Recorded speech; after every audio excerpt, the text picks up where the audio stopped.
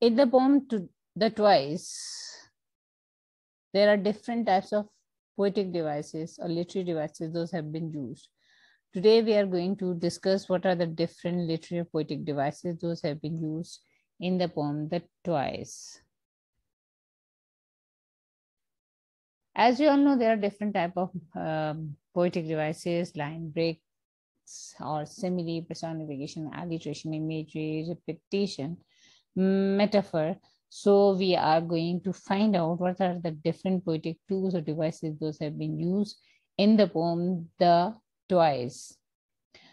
Uh, metaphor. In this poem, The Toys is an important metaphor. On the first hand, it hints at the toys of the boy, right? So what is the hint here? It is the toy of the boy. At the same time, it refers to the earthly joys. Human beings are attracted to. So that's why it is a metaphor. And as we know, metaphor mean the comparison between two unlike things without using like or else. Besides, this device is also used in the line I struck him and dismissed with hard words and unkissed. Here, Patmore compares hard words to an object that is used to beat someone. So, uh, metaphor is used, and especially the word toys by itself is a metaphor. And then I struck him and dismissed with hard words and unkissed. Anaphora. First and foremost thing, uh, what does mean by anaphora? It is the repetition of words or phrases in a group of sentences, clauses, or poetic devices, and especially these are used in the beginning of the lines. This device is also used in the following lines of the poem. A box of counters and a red veined stone, a piece of glass abraded by the beach. The first both is a box a and a piece, this A. These both A's are the example of anaphora. So anaphora is what? It is the repetition of words, help verse or a phrase or phrases in a group of sentences, or poetic lines. So here, th this is the example of poetic lines and this is the repetition and this repetition should be in the beginning of the lines. Another is personification. We all know when we talk about personification, it's mean humanly attributes. Those have been depicted in non-human beings. It is used in red vein stone. It is used in red. Personification is used in the red veined stone and sad heart. Patmore describes the stone with human attributes. In the second expression, he invests the heart with the emotion of sadness. sadness. Irony.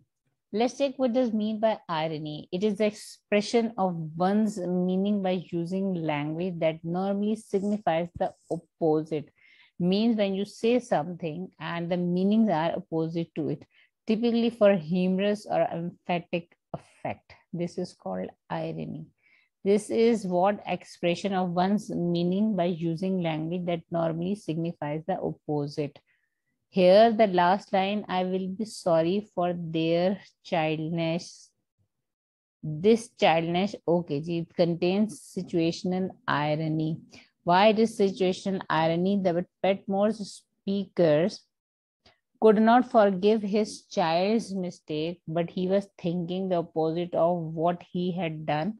And he believed that he was not forgiving his child on committing his mistake, but at the same time, he believes that Almighty will forgive him, means for himself forgiveness, and for his child, there is no forgiveness. So, this is irony, like you are saying something else for others and for yourself, you are expecting something else. Enjambment. Enjambment is a figure of speech which is very common, um, quite commonly in use, um, especially in the poetry. Enjambment from the French meaning are striding over, its meaning are, is a poetic term for the continuation of a sentence or phrase from one line of the poetry to the next. Uh, when we talk about the enjambment, so keep it remember enjambed line typically lacks punctuation. Usually when we talk about enjambment, it means the one idea which is continued into the next line and for showing this continuation in the first line, um, no punctuation mark has been used. So that's why the same idea has been moved into the next line, right? At this, at its line break, so the reader is carried smoothly and swiftly without interruption to the next line of the poem. Let's check. Patmore uses this device throughout the poem to internally connect the lines. It makes reader go through the lines at go in order to grasp the overall idea. Example from the poem. I stuck him and I dismissed. Ah, see, after here, after dismissed, no punctuation mark has been used because this idea is smoothly moved into the next line. Uh, with hard words and unkissed here, the um, comma is used uh, it means the here at least one idea has been completed. So please, this is the example of enjambment. When one idea swiftly moved into the next line or continuation of one idea into the next line. And usually, um, uh, in first line, we, by the end of first line, no punctuation mark is used. Um, imagery. When we talk about imagery, without imagery, um, nothing is possible because imagery is what images. It relates to images, maybe mental images or maybe other type of images. And as we have already done, that imageries are of five types, like as many senses we have, as many types of images we have. So when we talk about the toys, this poem, it is full of imageries. Word twice little son, thoughtful eyes, darkened eyelid, kissing away his tears, shells, bottle with bluebells. These all are the examples, or what these all are the examples of imagery, and there are other images as well.